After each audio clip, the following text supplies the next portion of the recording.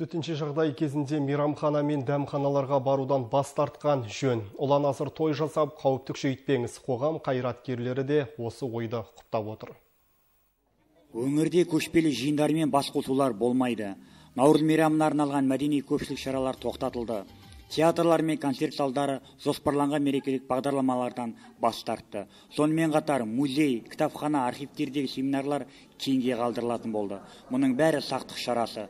Философия ғылымдарының докторы профессор алтай тайжанов ұлт саулығы үшін той думанды да уақытша шегеруді жөн көреді. Облыс халқын жалпы жұртшылықты қазіргі уақытта сол медицина қызметкерлерінің және біздің үкіметіміздің шешімдерін қолдауға шақырамыз.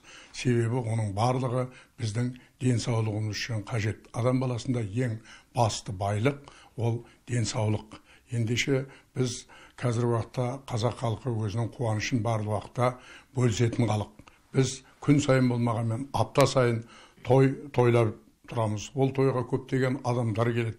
Ендеше бұл да бір қауіпті тұстар. Сондықтан мүмкіндігінше біз осы тойымызды азайтып оны кейінге қалдырып игіліктің ерте кеші жоқ дейді. Солай өтісетін болсақ онда біз мемлекетіміздің шешімін де қолдағанымыз өзіміздің мынау денсаулығымызды ойлағанымыз болып шығады. Осыған мен облыс жұртшылығын шақырамын.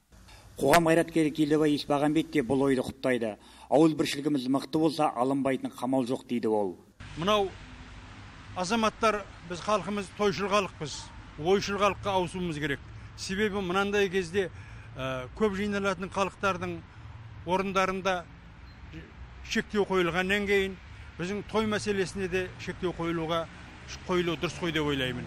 Себебі біз әр уақытта жан жақтан адамдарды жинап әр өлкеден әр аймақтан өзіміздің қуанышымызды той арқылы көрсетеміз.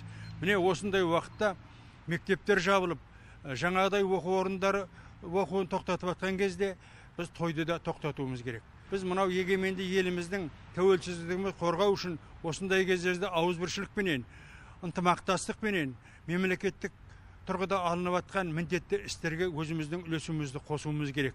Медициналық санитарлық барлық талаптарды орындауымыз керек. Сонда ғана біз мынандай індетті істерден аман қаламыз. Қазір ел іші алаңдап отыр. Мұндайда абдырап шалыс қадамға бармаған дұрыс. Әсіресе расталмаған ақпаратқа сеніп дүрбелең туғызып алған жөн. Сақтық жұмыстары күшейтілген тұста полиция мен төтенше жағдайлар қызметі күні түні көше қауіпсіздігін бақылауға көшті. Дархан мектепбай азамат сауханов ақтөбе телеарнасы.